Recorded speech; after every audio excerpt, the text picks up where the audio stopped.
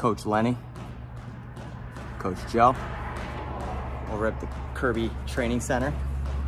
Got my new threads. Feel that.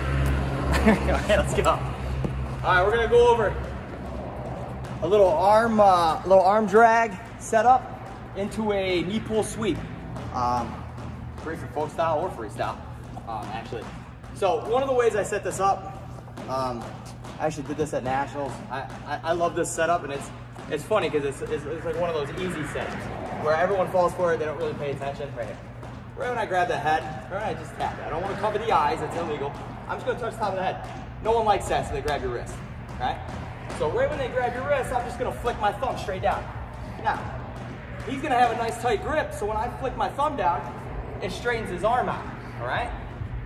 I'm going right above the elbow, not at the elbow, all right? Remember, slip factor. I'm going right here, probably right at the tricep. Now, when I do that, when I flick it down and I go here, I'm gonna step in the middle with my trail leg, right here. Now, that's easy, sets me up in a position where I can just pivot down. He's gonna kick that leg back. He's gonna pull this arm back. All of that I don't care about because I'm going underneath it for that knee pull, all right? Right here, boom.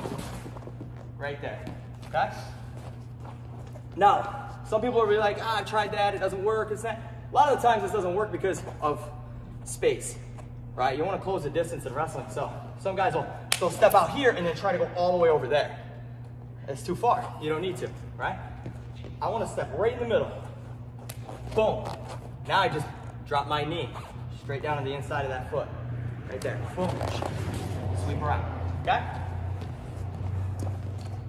So right when I, once again, I touch top of the head, right there. You see his reaction. And I don't reach with my lead leg hand. I want to leave this wide open. I'm reaching my trail leg. Hand. Right there, boom, drag it. Right there, I flick it straight down. And as I'm dragging, I step right in the middle. Boom. He kicks it back. I pivot right there and pull the knee. It's not a knee grab, it's a knee pull. See how that rotates him? All right, so it's here, pull, sweep around. Okay?